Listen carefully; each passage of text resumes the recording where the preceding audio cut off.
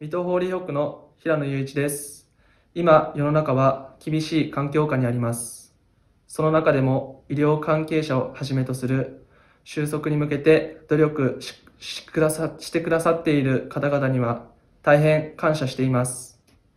そんな中、僕たちにもできることがないかと微量な微量ながらこの動画を配信することにしました。夜8時に激励の拍手を送ります。皆さんで共にこのコロナに打ち勝ちましょう。